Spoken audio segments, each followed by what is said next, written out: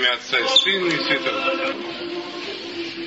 Сегодня Святая Церковь молитвенно почитает память Давида царя, из рода которого произошел по плоти Господь наш Иисус Христос, Иосифа, обручника, который был ему дядей и ну, исполнял служение отца и других сродников по плоти, потому что церковь всегда настаивала, и это в символе веры содержится, именно на том, что Господь пришел во плоть. И это действительно очень важно, потому что ну, еще в далекой древности людям это было как-то трудно э, согласовать с их обычными представлениями, э, которые диктуются, э, конечно, искаженным грехом сознанием. И поэтому мысль о том, что Бог имеет человеческую плоть, она действительно, как однажды апостол Павел написал, для эллинов соблазн, а для иудеев безумие просто. Потому что сам Господь повелел иудеям, чтобы они не впали в язычество, э, э, вообще даже не изображать и не пытаться э, чего-то божественного. Хотя были исключения. Вот, Скиния была украшена херувимами, которые есть небесные силы, например, э, и, и так далее. Но, э, тем не менее, потому что э, язычники и глубокой древности, и не такой глубокой, наши отечественные – а, они ну, пытались э, символически или э, иногда очень э, даже близко к изображению человека изобразить неизобразимое. Ну и это очень понятно. Зачем это надо? Э, потому что человеку всегда нужны какие-то зрительные опоры, и потом э, я, собственно, никогда этот вопрос не обдумывал и нигде не удавалось прочесть, почему у человека такая э, склонность э, к магизму существует. Но то, что э, всякий магизм это все гораздо проще, чем подлинно религиозная жизнь. Но тем не менее, почему-то человек думает, что и это э, обычный, самый э, такой среднестатистический человек, что от каких-то там действий, слов э, что-то зависит. Даже в церкви э, там, ну, по крайней мере, больше половины людей, и духовенство в том числе, они э, заражены вот таким магическим сознанием. Отношение к всяким формулам, к словам, к цифрам – вот, ну, э, типа вот этого буйного помешательства по поводу ИНН. Некоторые готовы не только рубаху на себе рвать, но и даже с церковью порвать из-за каких-то там цифр.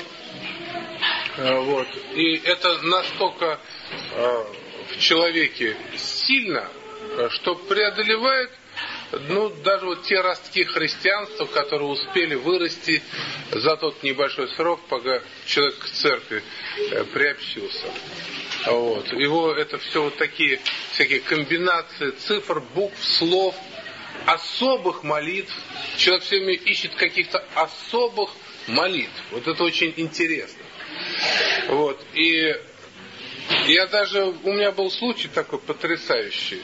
Ну, потом, когда я э, поделился с людьми такими более уже старыми, тогда я просто еще был молодой, я застал одного священника, прошла литургия, он читает какие-то молитвы. Я говорю, ты что так долго читаешь? А он говорит, я на литургии молитвы говорит, не успел прочитать. Я говорю, ну как не успел? Ну, ну не успел, так сказать, ну ладно. Но а потом-то тогда, какой это имеет смысл?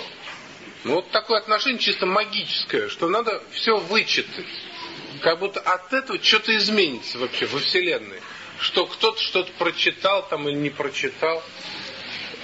Вообще ничто не меняется. Но само сознание такое магическое, оно очень широко распространено.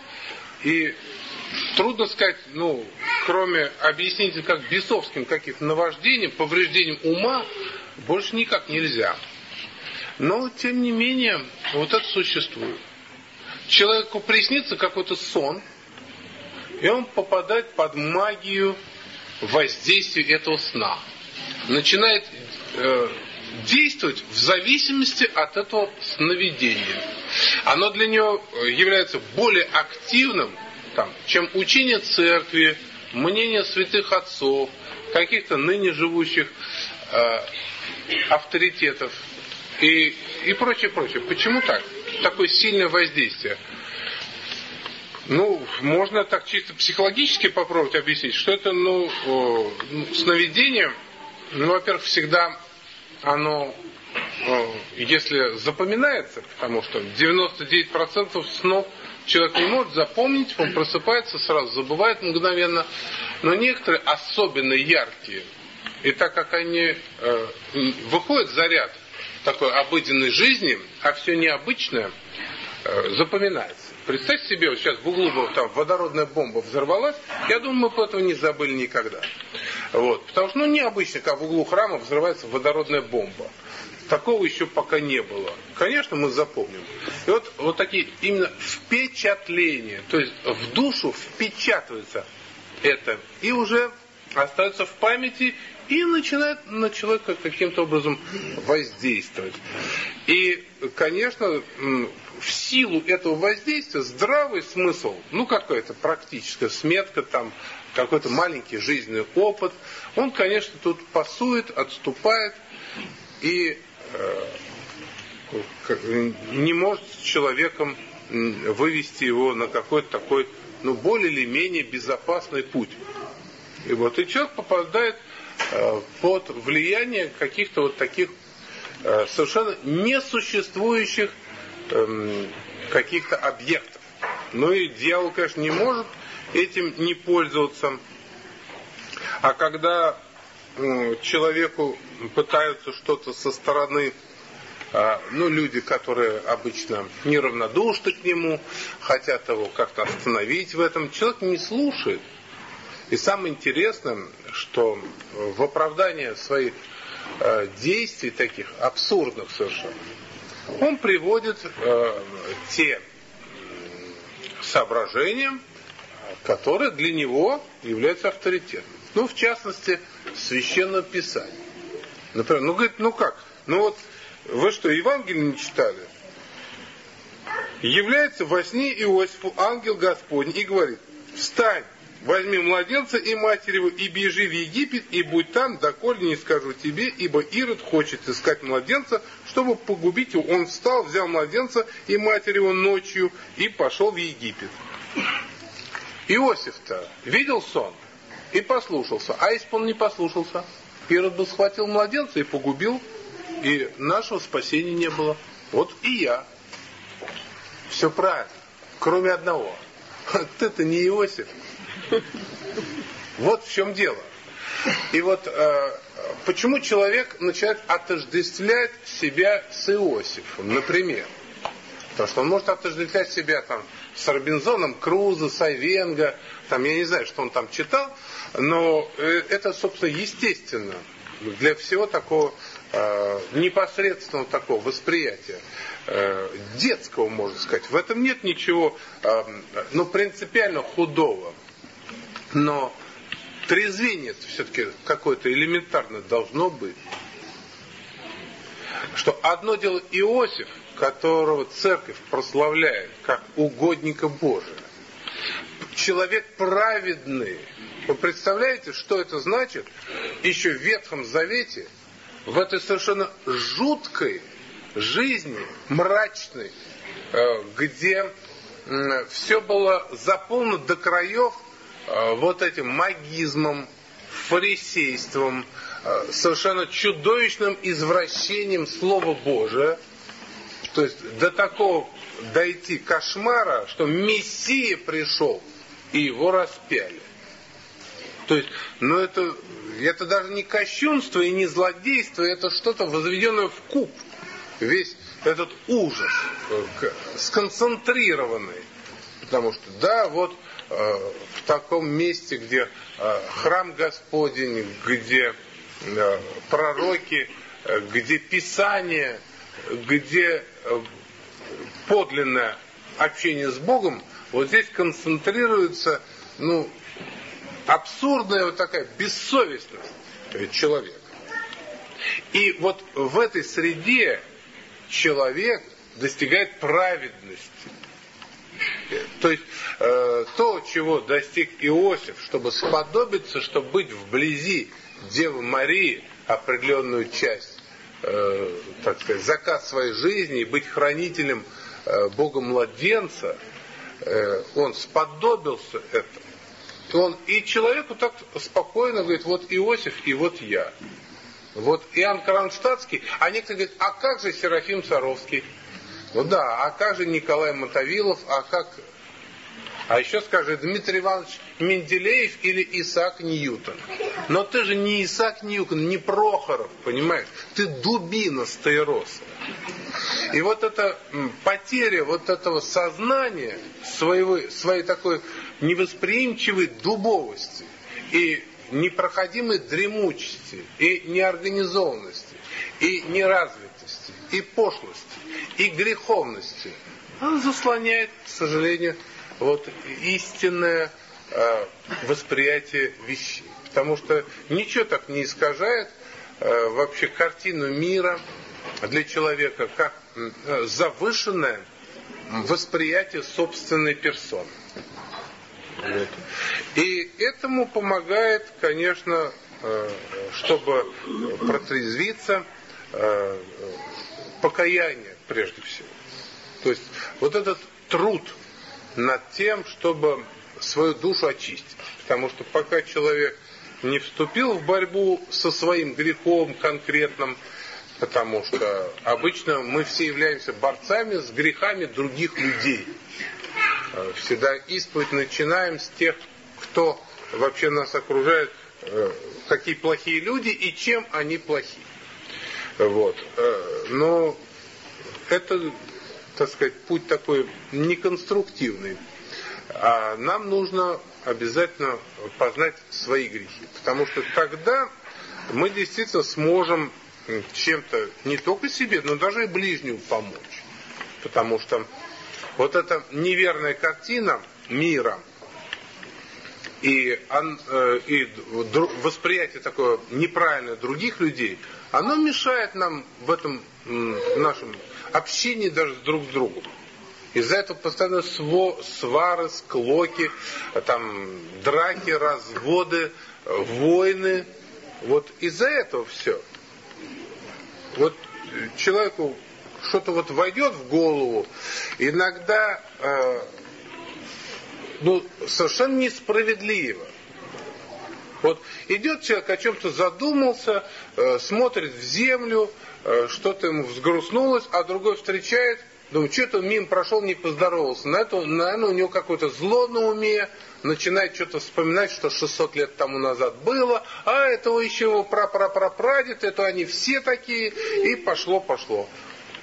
А у человека, может, голова болела, там и давление повысилось, или кто-то у него умер, вот собака любимая, он расстроился. Ну, вот какая-то, он совершенно не думал не здороваться, и вообще очень хорошо воспитанный человек. А тут уже какая-то проблема, и целый месяц человек себя грызет, мучает там, думает разговаривать, не разговаривать, вот.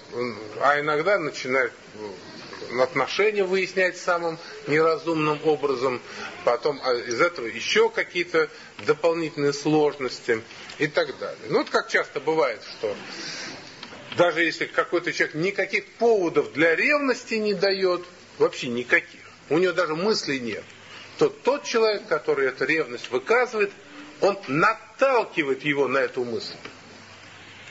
Он говорит, ха, действительно, что я страдаю невинно? Я лучше за дело пострадаю. Вот. И это очень, очень часто бывает реализовано. То человек сам некий фантом, который не существует в бредовом его сознании, распаленное бесами, создает, э, он начинает реализовываться. То есть человек сам разрушает, сам из преисподней вызывает вот этих духов разрушения э, для того, чтобы реализовать свою страсть. Вот. И в этом смысле, конечно, очень хорошо э, человеку трезветь. Э, то есть вот э, такое замечательное слово трезвение, потому что страсти, они действительно пьянят человека и искажают, ну, как всякому пьяному человеку, у него то двоится, то ему кажется, что он очень умный, то он кажется, что он такой неотразимый Дон Жуан, но когда человек выпил, то кажется, что море по колено, ну и всякие такие абсурдные вещи. В результате человек, также и страстями другими одержим, не только пьянством, э, человек погружается вот э, в эту такую призму, э, изнутри которой он смотрит на мир, где все переломляется, сам негожим и, к сожалению, бывает даже и бесовским образом. Потому что дьявол, конечно, он старается всем воспользоваться а для того, чтобы нам э, всячески навредить. И вот э, вместо того, чтобы э, понимать вот, и чувствовать вот, ну, координаты собственной личности, Господь нам дал этот замечательный алгоритм. Он говорит, вот даже если все исполните повеленное вам, ну, а мы вообще ничего не исполнили еще. Не то, что все, не то, что что-то, а вообще ничего.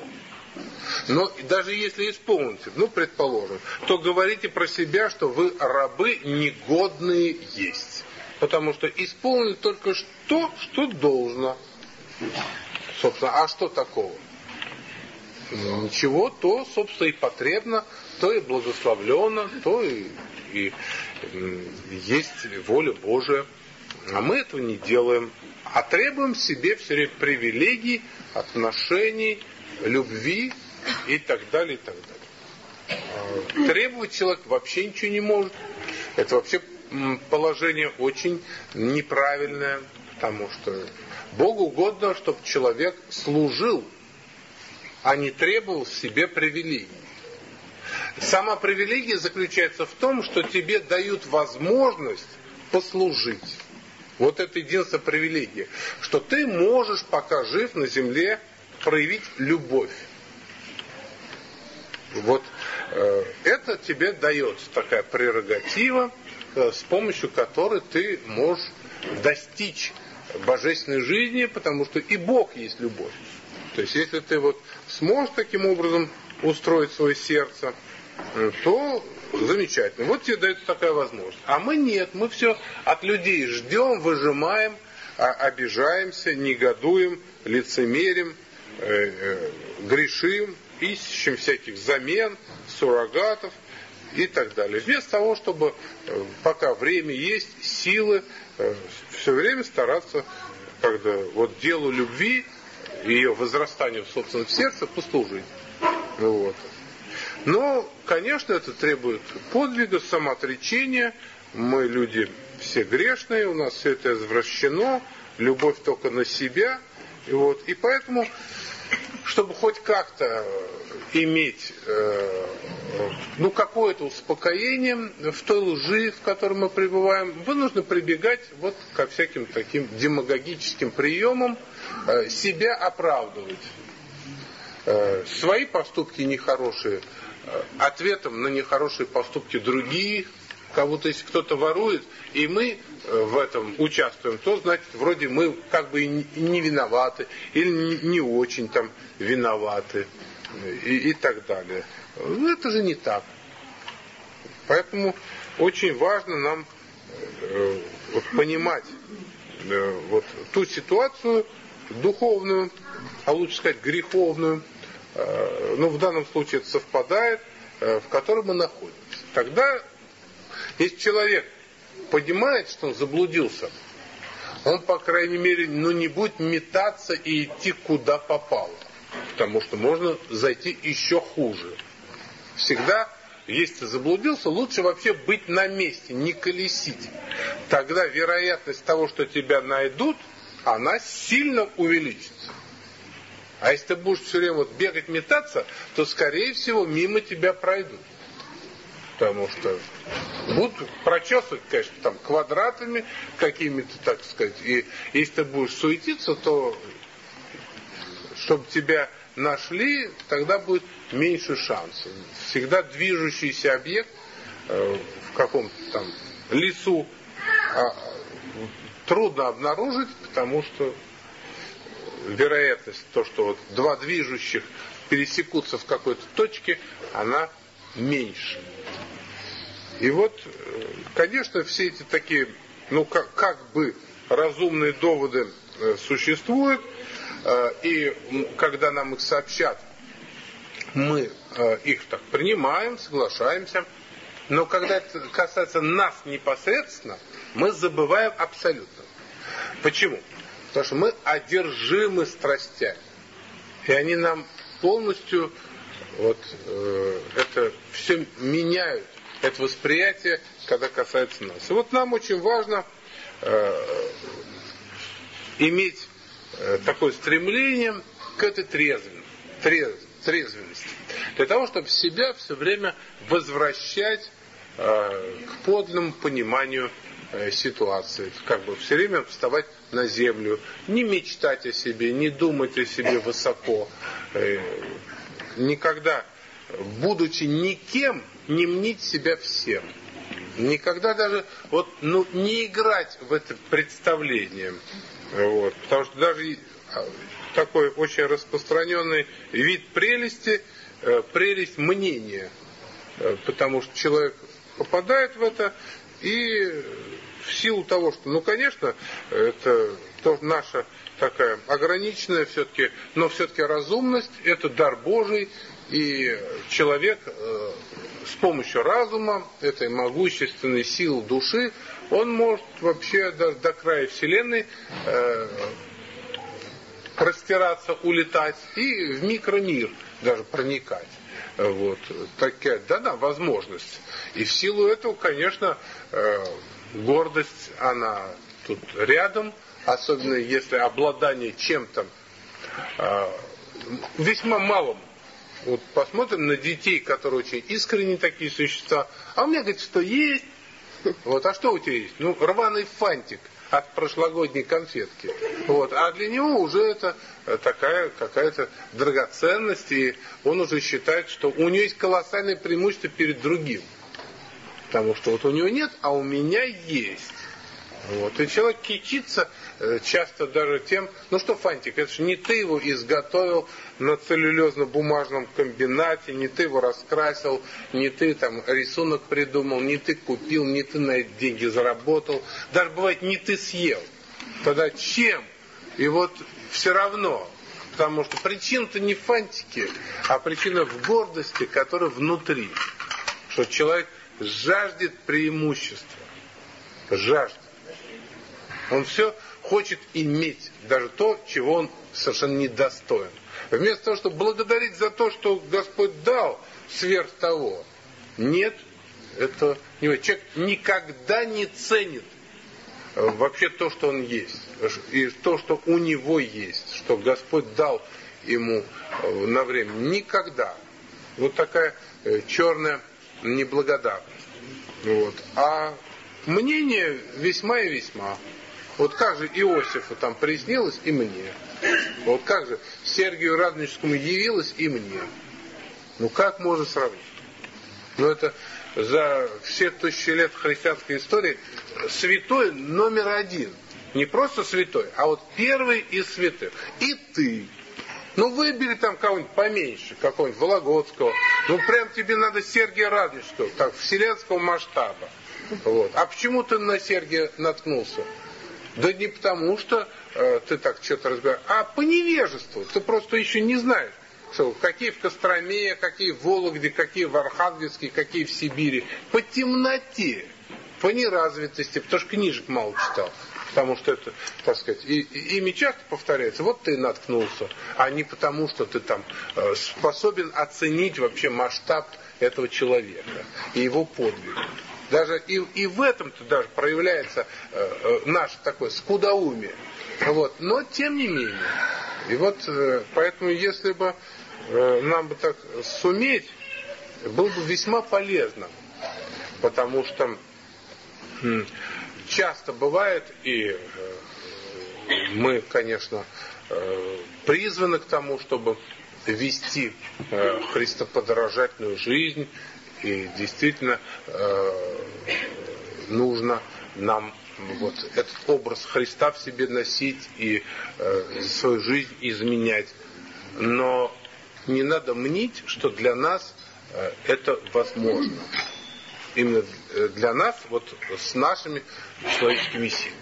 Все, что человек может совершить доброго, исключительно только по благодати Божией, потому что если Бог даст, то человек может сделать по его милости. Никогда ни один святой человек, когда достигал э, благодати Божией, он никогда не приписывал себе э, того, что сделал Бог. Даже сам Господь, будучи ну, первоучителем христианским, он так и говорил исцеленным, поди и скажи, что сделал тебе Господь. Хотя он Господь, но он не делает, поди, расскажи, что я тебе сделал. Потому что, ну это просто неприлично. Даже Сын Божий, Творец Вселенной, им же вся быша, он не дерзал э, перед Отцом Небесным заявлять, что это Он. А первоисточником называл Отца Небесного. Хотя это именно Он, потому что Он и Отец это одно. А мы и Отец это не одно. И та, конечно, и в нас есть благодать Божия, и мы сегодня причастились святых тайн Христов, всех поздравляют все души. И в нас действует благодать Божия, благодать крещения, святаго причащения, и э, на молитве мы приобщаемся к э, благодати Божией. Для этого, собственно, приходим. Но мера, это, конечно, отнюдь не такова, которая была мерой э, святых угодников Божьих, достигли близости Богу. Поэтому вот нам нужно тоже об этом всегда помнить. Мы, конечно, и со святыми братья во Христе. Но это сейчас. А еще неизвестно, что будет в результате нашей жизни. Сейчас, да, по милости Божией, Господь дает нам нечто, чего ни один из нас не достоин. Вем, Господи, яко недостойне причащаюся, и суд себе ям и пью. Да, мы это знаем вместе с Василием Великим. Вот. Сейчас да. А вот что будет потом, э, в паке бытии, мы не знаем, каков будет суд Божий. Можем надеяться, можем веровать, можем просить, но результат нам неизвестен. Поэтому надо благодарить Бога, что Он нам дает вот и, и эту возможность, не, на вся, несмотря на вся наше прегрешение.